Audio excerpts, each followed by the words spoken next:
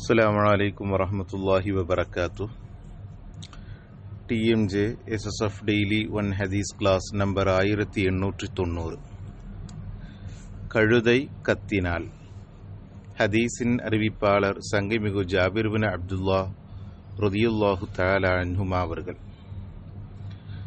அருமை நாயகம் சொல்லல்லாஹு அலஹி வசல்லம் அவர்கள் கூறினார்கள் இதா சமிழ்த்தும் நுபாஹல் கிலாபி நீங்கள் நாய்கள் குறைப்பதை நீங்கள் கேட்டுவிட்டால். வனஹீகல் ஹுமரி பில்லெயிலி அதே போன்று இரவு நேரத்தில் கழுதைகள் கத்துவதையும் நீங்கள் கேட்டுவிட்டால். நாய்கள் குறைப்பது கழுதை கத்துவது இதன் சத்தத்தை நீங்கள் ராத்திரி நேரத்தில் நீங்கள் கேள்வி கேட்டுவிட்டால். ஃபத்தஅவ்வது பில்லா. இறைவனிடத்தில் நீங்கள் பாதுகாப்பை கேட்டுக்கொள்ளுங்கள். இறைவனிடத்தில் நீங்கள் பாதுகாப்பை கேளுங்கள். அதாவது அழுது வில்லாஹி மினஷைத்தானி ரஜீம் என்பதை நீங்கள் ஓதிக்கொள்ளுங்கள். என்ன காரணம்? ஃப இன்னஹுன்ன எறைன மாலா தரவுன இந்த நாய்களும் அதே போன்று கழுதைகளும் இவைகள் நீங்கள் பார்க்காததை உங்களுடைய கண்களுக்கு தென்படாத சில டீமுகளை இவர்கள் பார்க்கிறார்கள்.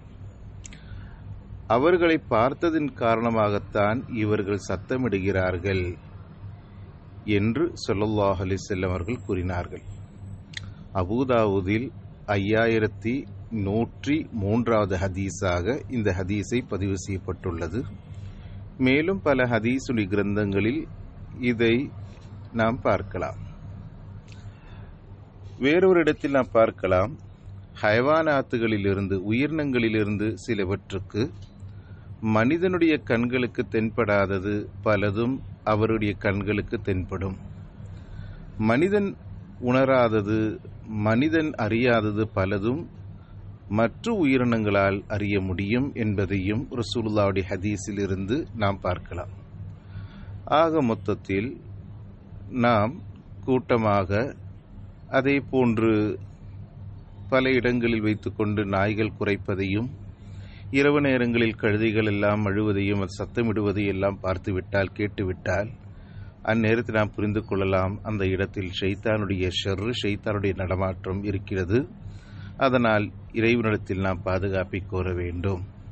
அழுதுவில்லா ஹிமின ஷைத்தான் ரஜீம் என்ற அந்த அற்புதமான திக்கரை ஓதிக்கொள்ள வேண்டும். பிள்ளைகளை இரவு நேரத்தில் வீட்டை விட்டும் இறக்காமல் இருப்பது மிகவும் முக்கியமாக. இஷா மகரிபினுடைய அந்த நேரத்தில் பிள்ளைகளை வெளியே இறக்காமல் இருக்க இருக்க வேண்டும். பழைய காலத்தில் நம்முடைய மூதாதையர்கள் சொல்லி வந்த விஷயம்தான். ஏனெனில் அந்த நேரத்தில் எல்லாம் ஜின்னினுடைய நடமாற்றம் மிக அதிகமாக இருக்கும். அந்த நேரங்களில் நாம் வீடுகளை அடைத்திடுவது மிகவும் அவசியம்.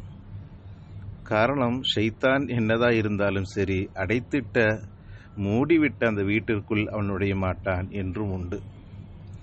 ஆக மொத்தத்தில் நாம் இத்தகைய நமது பெரியவர்கள் எல்லாம் சொல்லித்தந்த இந்த விஷயங்கள் எல்லாம் நாம் கவனித்து கொள்ள வேண்டும்.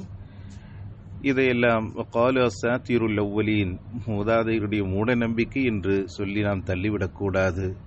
அவர்கள் சொல்லித்தந்த பல விஷயங்களிலும் மிக அற்புதமான உயிரோட்டமான பல விஷயங்களும் அடங்கியிருக்கிறது. பழைய காலத்தில் நமது பெரியவர்கள் எதையெல்லாம் நமக்கு கற்றுத்தந்தார்களோ அதை நாம் தொடர்ந்து வரும்போது நம்முடைய வாழ்க்கையில் மிகப்பெரிய இன்பமும் பாதுகாப்பும் எல்லாம் ஏற்படும். அல்லாஹூ நம்ம எல்லோரும் புரிந்து கொள்வானாக. அஸ்லாம் அலைக்கும் வரமத்துல்லாஹி வபரகாத்துஹூ.